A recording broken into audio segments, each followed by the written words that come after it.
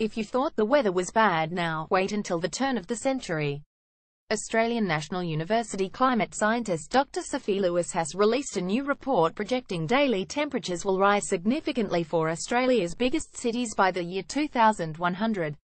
We have to be thinking now about how we can be prepared for large population groups commuting to and from the CBD on these extremely hot days, how we send young children to school on 50C days, how our hospitals are prepared for a larger number of admissions of young or old people, and how our infrastructure can cope with it.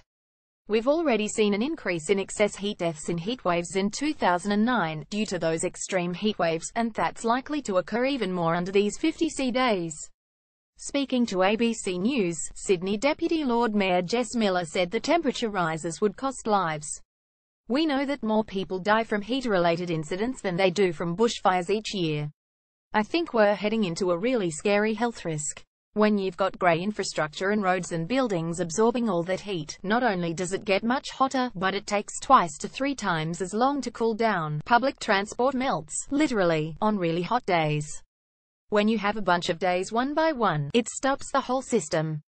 Um, not good. Enough words relax your eyeballs with this video.